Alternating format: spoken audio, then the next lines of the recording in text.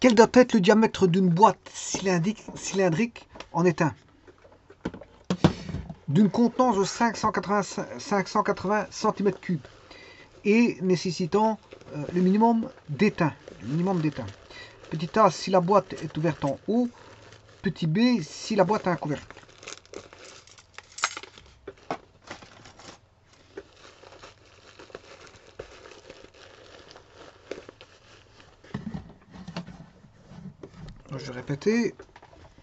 En modifiant l'énoncé.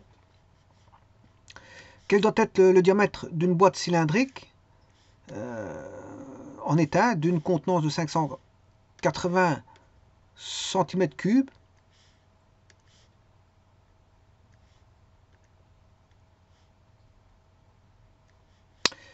et nécessitant minimum, le minimum d'étain. Si la boîte petit a est ouverte, petit b si la boîte est, est fermée, c'est-à-dire qu'elle possède un couvercle.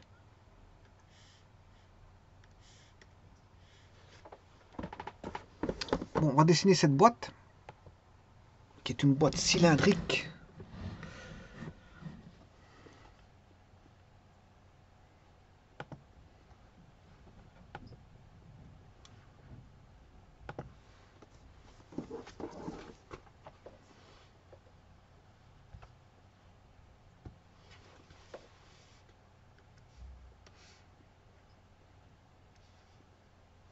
Alors, comme je vous ai dit, elle n'a pas de couvercle. Hein. Je vais faire le petit A.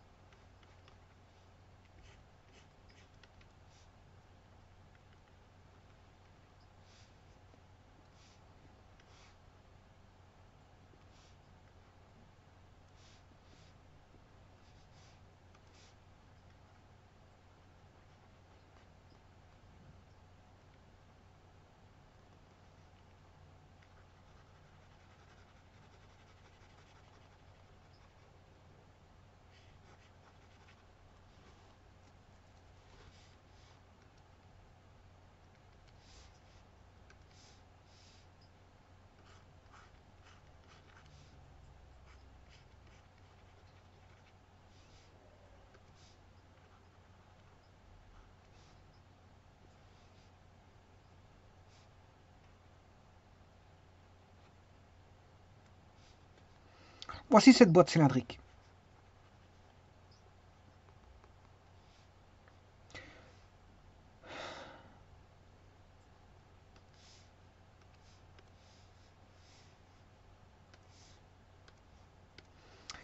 Alors, on a affaire à un cylindre. Je vous rappelle que le volume d'un cylindre, c'est pi euh, r carré h. Ou pi r carré, en fait, c'est une surface qui est un cercle fois une hauteur je rappelle que la hauteur c'est ceci.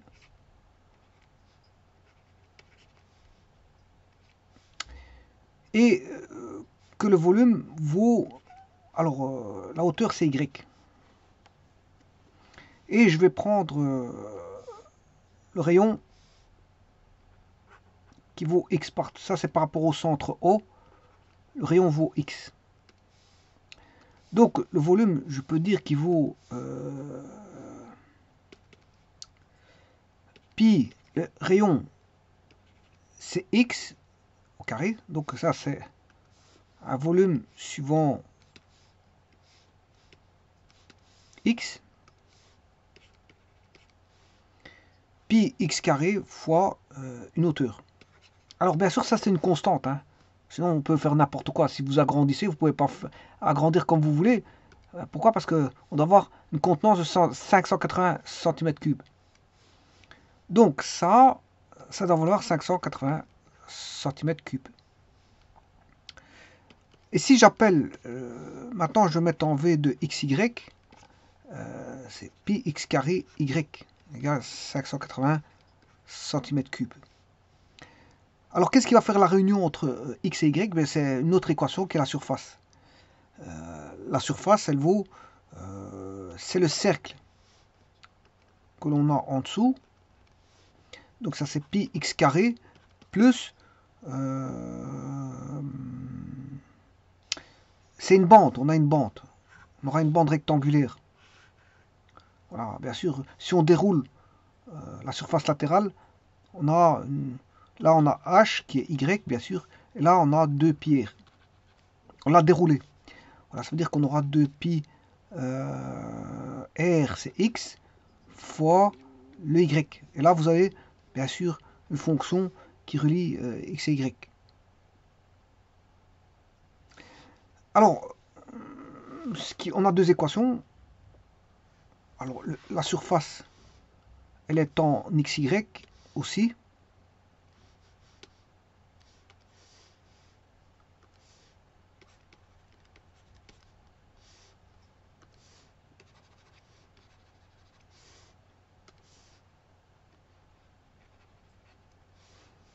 Donc on a deux équations, une de volume et une de surface, et la surface relie les deux. Et ce qui fait la constante, c'est le volume, parce que c'est un volume constant. Le volume doit faire 580 cm3. Bon, maintenant je vais réunir les deux équations. Une, euh, je vais en faire de deux une seule. Et puis je vais optimiser. Donc, je peux écrire que la surface, c'est suivant bien sûr avec une seule variable x.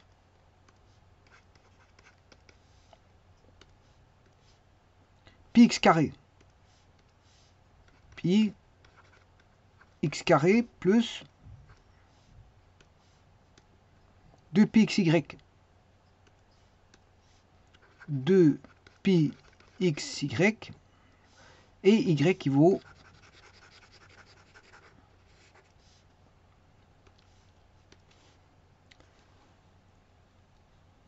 580 sur pi x carré. 580 sur pi x carré. Voilà, ça c'est la, euh, surface. Euh, alors, je vais faire le calcul. Je ne sais pas ce que j'ai mis mon machine. Voilà. Ok, donc on va, on va faire ça.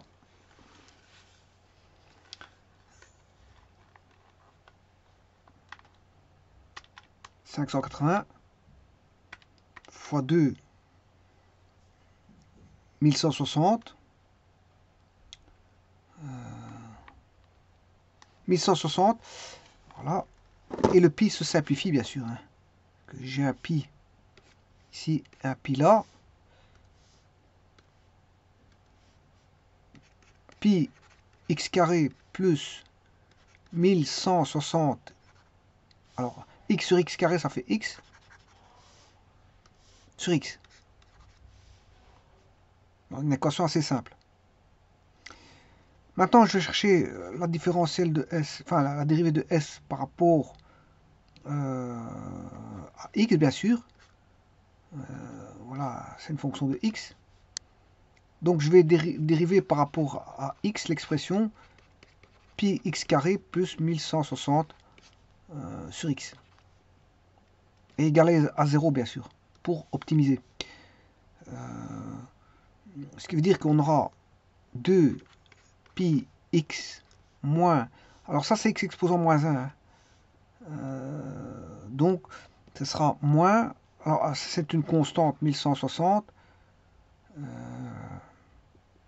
x exposant moins 1, donc c'est x moins 2.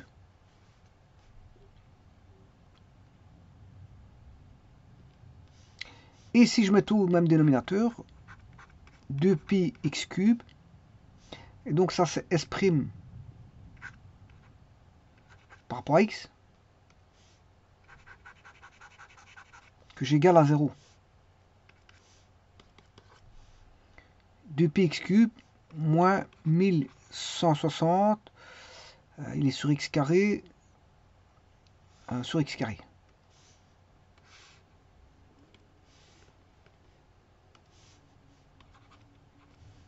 Égale à 0. Bon, et donc euh, il faut garder le numérateur. C'est une équation, il faut garder le numérateur.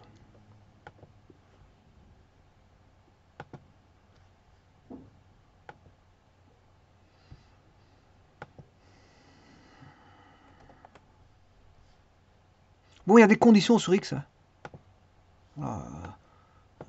Il y a des conditions sur x.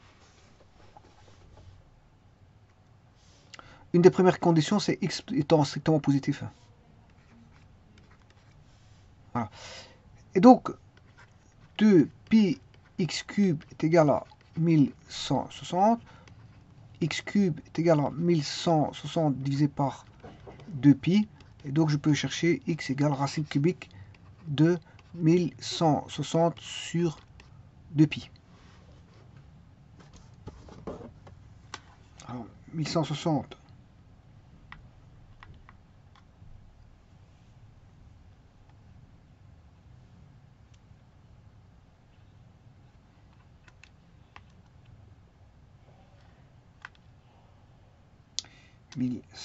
1160 divisé par 2 divisé par pi.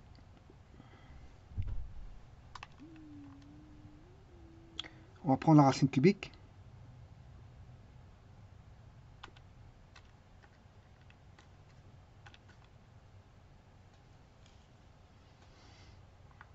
J'obtiens euh,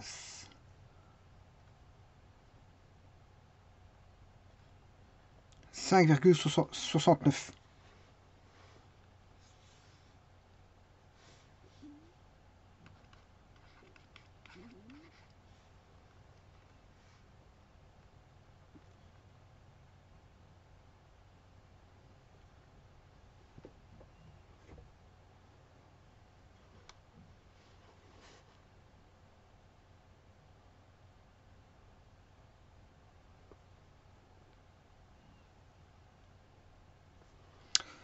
Bon, ben, allons voir la question.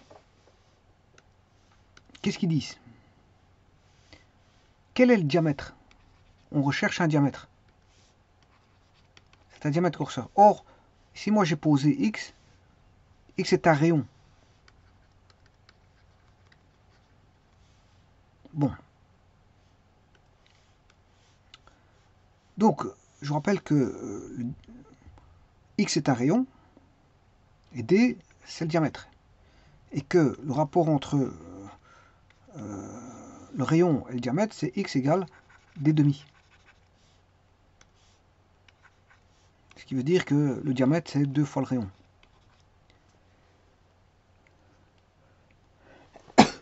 Je m'excuse. Et donc, là, c'est deux fois euh, racine cubique de 1160 divisé par 2 pi. Alors, 2 au cube, ça fait 8. Je faire rentrer le 2 à l'intérieur. Hein. Donc, je vais mettre 8. 8 fois 1160. Euh...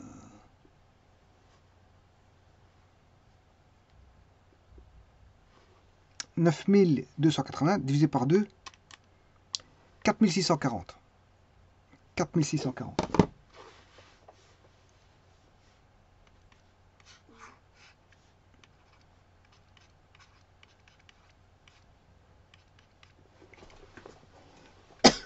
Je m'excuse, centimètres cubes. Voilà que vaut le, diamètre. Donc je vais noter. Donc le diamètre pour la question A,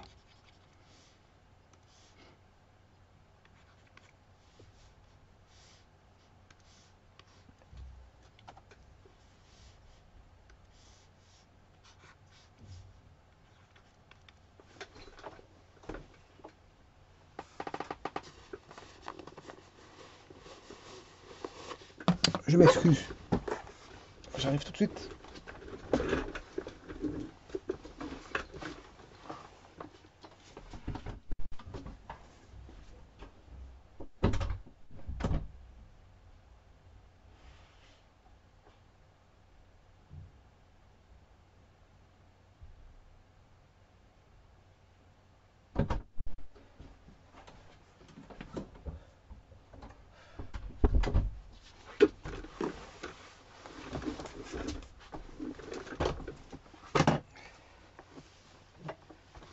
Revoici.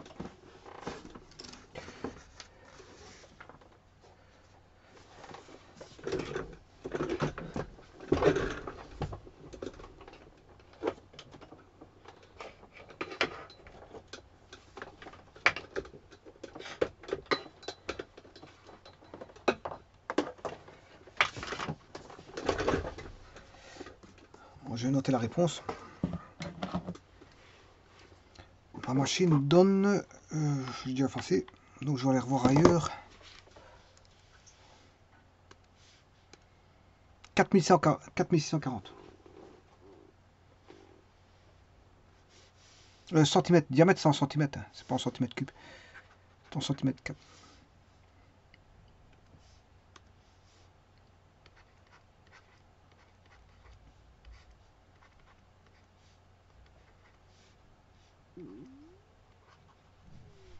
Maintenant, regardons euh, s'il y a un, couvercle.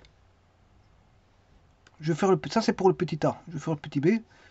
Alors, quid s'il y a un couvercle?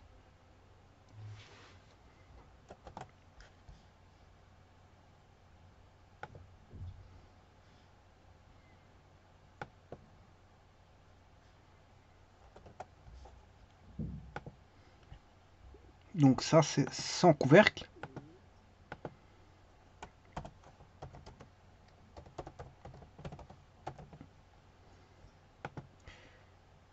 Je vais le faire avec couvercle.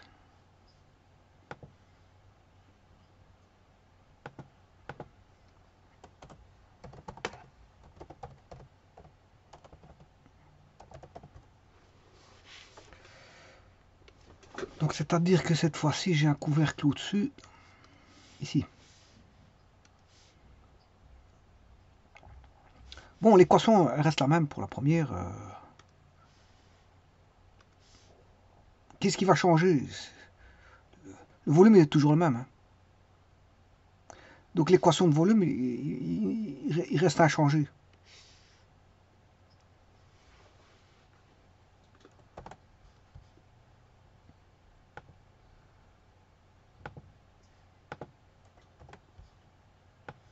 Par contre, il y a un ajout pour les surfaces latérales.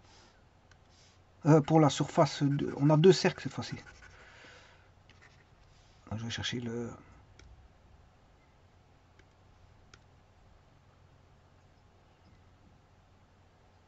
Bon, je peux déjà directement écrire ici. Hein. Bon, on pas se faire tout du calcul. Je vais juste modifier ici euh, les écritures. Bon, ça veut dire que celui-ci, il va rester là. Euh, simplement, on aura euh, la surface.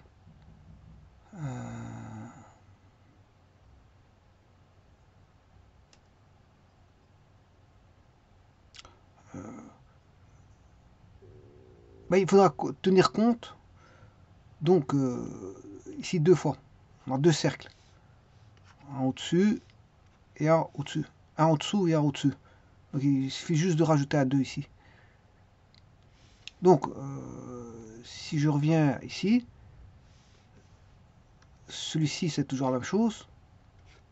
Euh, non, je m'excuse parce que ça c'est la surface. Il faut multiplier par 2. Euh,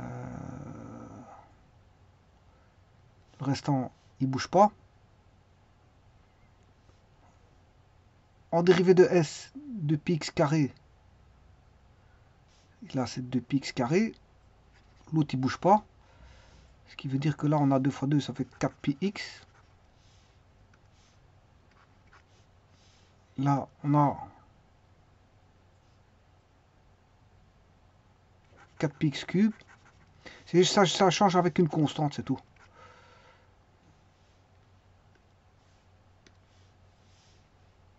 C'est le 2 qui change en 4, il n'y a que ça.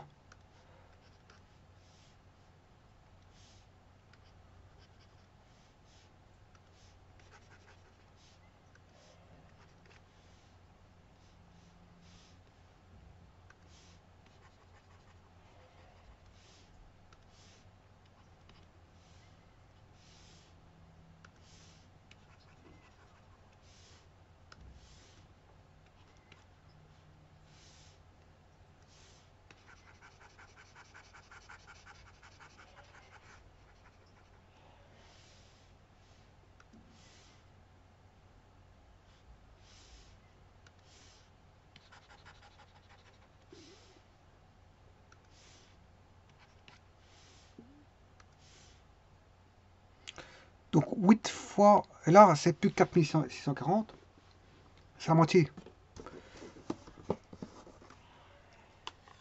Donc c'est la moitié de ça.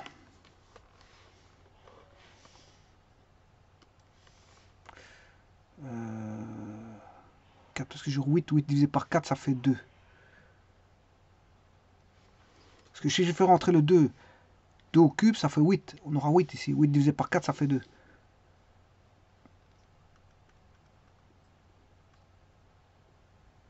Euh, non, je me trompe. Attention, il faut, faut pas que j'aille un peu trop vite. Euh...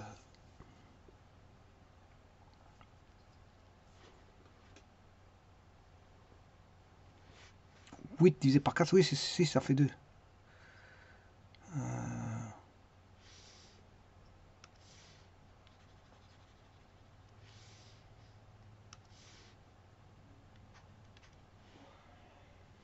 P2. Et donc on aura 2 fois 1160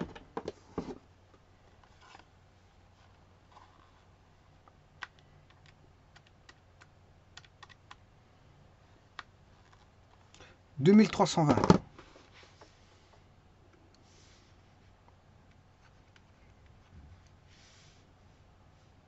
Donc je vais ici. Petit b, d égale racine carrée ou racine cubique sur pi 2320 cm. Donc c'est une histoire de voilà, d'un 2. C'est un 2. C'est une, constante qui va dire euh, être modifiée. Je, dois tenir compte d'une deuxième surface, la surface du cercle du dessus.